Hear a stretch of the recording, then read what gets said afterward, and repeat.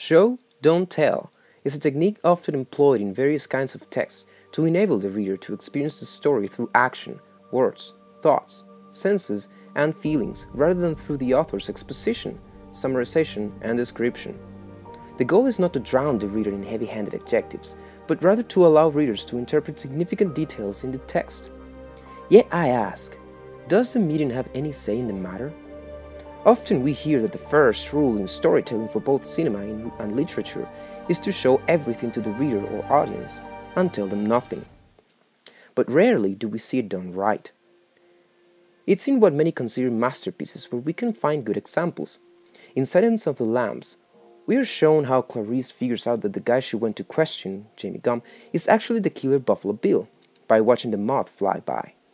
Without a single line of dialogue, just watching her reaction, we know she put it together. Although, taking a step back, it's in masterpieces where we can find not very good examples as well. In Lord of the Rings, there is half of a chapter dedicated only to describe a tree. So, when to use this principle becomes quite the question. I think comic books are perfect to put these techniques to the test, given that it is a hybrid medium, and Brian Michael Bendis' Daredevil run is the best example for this.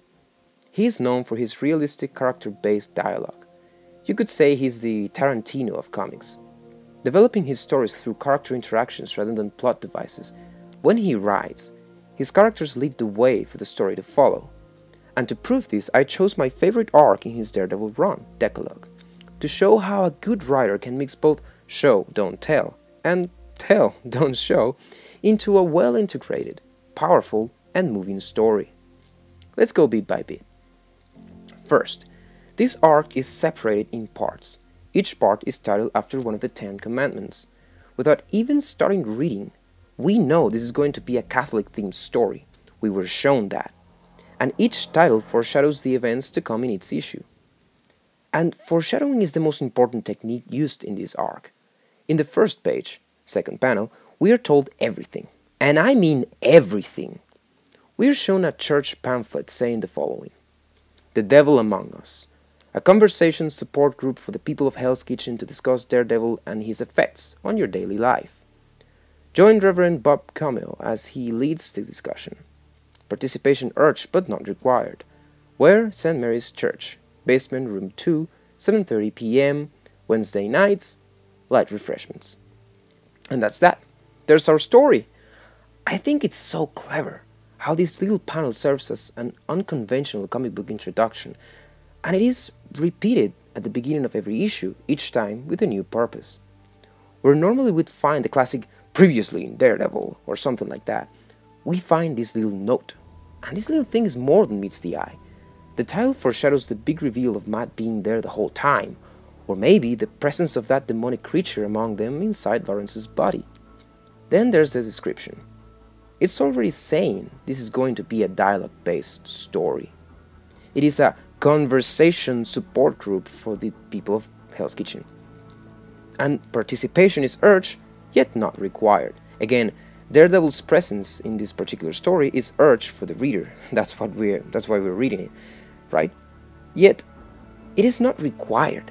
Each personal story we're going to read is as interesting and exhilarating as any action piece could ever get, and in my opinion is even more so.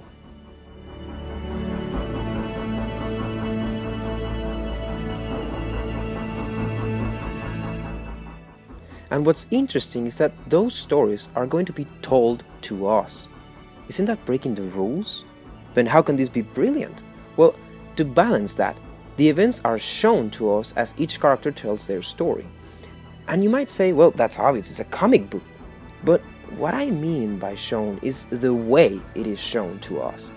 Each time a character tells a story, we are taken from the cold, washed out colors of the basement room into a warm tonal red environment, representing the passion with which they felt those events. I have to say, Alex Maleev does have a great sense of atmosphere. And then there's the way we are allowed to know certain things. Bendis and Maleev played their cards perfectly, combining both literary and visual tricks to conceal Matt's presence. Stan Lee was right. The word balloons play a crucial role in storytelling.